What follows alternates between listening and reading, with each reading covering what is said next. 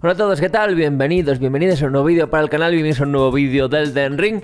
Ha salido ahora mismo, hace escasas horas, el parche 1.03 del Den Ring y contiene muchísimas cosas. Si sois usuarios de la ceniza de guerra de o de la lágrima mimética, eh, este vídeo os va a interesar porque han hecho cositas con esas dos cosas principalmente. Eh, y no son buenas precisamente. Así que no me enrollo más y empezamos. Bien, bueno, pues vamos a ver. Eh, a ver, desde Bandai Namco, bueno, pues han escrito un comunicado en el cual, bueno, pues han listado todas las novedades que incluye este nuevo parche 1.03 del Den Ring.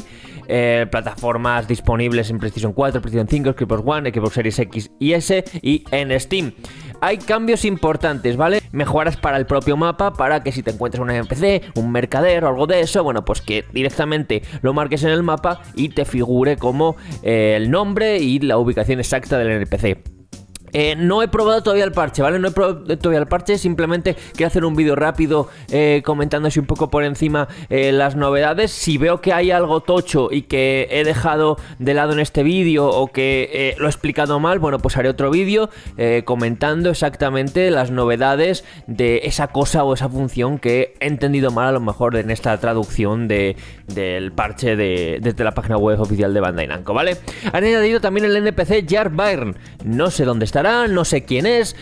Eh, se agregaron nuevas fases de búsqueda para los siguientes NPC: Dailos, Nefeli, Lowe's, Kenneth y Gatekeeper Goscott. Eh, yo del NPC no tengo ni puta idea, ¿vale? Así que no sé quiénes son exactamente estos NPCs. Se han agregado también NPCs invocables en algunas localizaciones o en múltiples situaciones, según pone aquí. Eh, supongo que será eso para invocar a según qué NPC en, algún eh, sitio del mapa, en algún jefe, en alguna historia de esas, ¿vale?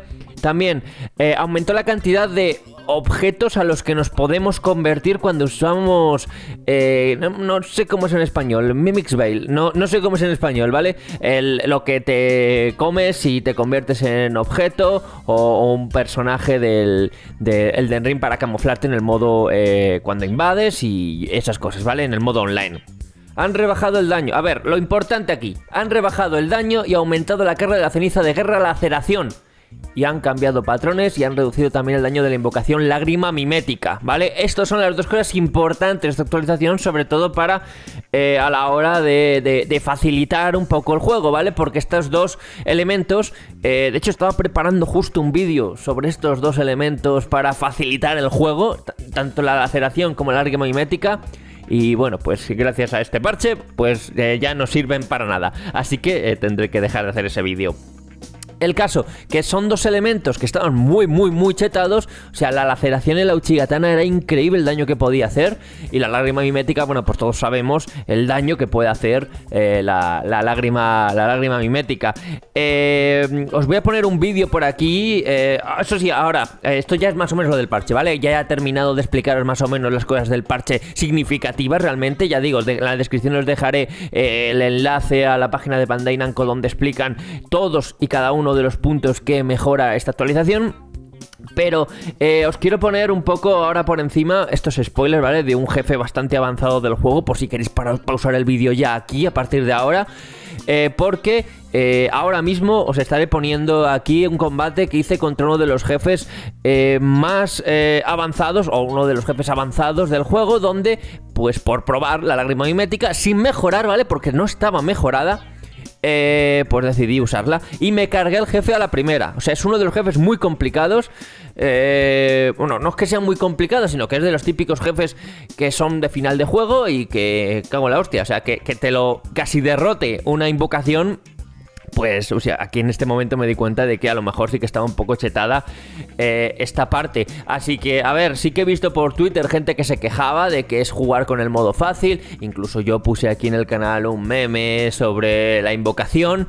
Y, a ver, no es que me parezca mal, pero yo creo que a lo mejor lo podían haber dejado, ¿sabes? Porque no es algo tan sencillo de conseguir para cualquier jugador. O sea, tienes que pasar eh, un evento importante, una misión secundaria, tienes que acceder a, un lugar oculto que solo se activa en una misión es complicado acceder a ella. O sea, yo lo hubiera dejado. La aceleración en este caso, pues no, porque se puede obtener nada más comenzar el juego, se puede obtener la, ceniza de guerra la aceleración y sí, obviamente está muy chetada para el principio del juego. Pero el resto, o sea, lo de eh, la lágrima mimética me parece eh, que es un poco absurdo lo de limitar o, nerfearla en este aspecto. por eso, porque es una, un ítem que se consigue si sabes dónde ir, si has avanzado lo suficiente en el juego, es decir, ya tienes que tener cierta habilidad. Pero bueno, eh, supongo que es eso, que, que, lo han visto demasiado chetado y lo han decidido eh, nerfear. ¿Vosotros qué opináis? O sea, ¿usabais esta lágrima mimética? ¿No la usabais? ¿Usabais la laceración? ¿No la usáis? Eh, ¿qué, os, parece esta, este parche? Así que nada, ponemos todo aquí abajo en caja de comentarios y este ha sido todo lo que más o menos acabe de destacar del parche. Dame un like si os ha gustado el vídeo, suscribiros para más y nos vemos en el próximo vídeo, chicos. Adiós.